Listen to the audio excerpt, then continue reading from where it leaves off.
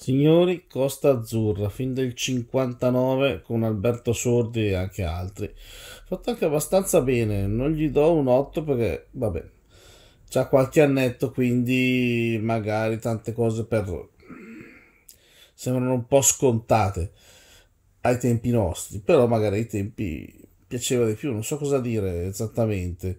Non mi è dispiaciuto, l'ho visto volentieri, non lo rivedrò sicuramente mai, però ci sono delle cose interessanti. Basta così, 7.5. Un saluto a tutti, se volete iscrivetevi al canale, se volete lasciate un like. Ciao ciao!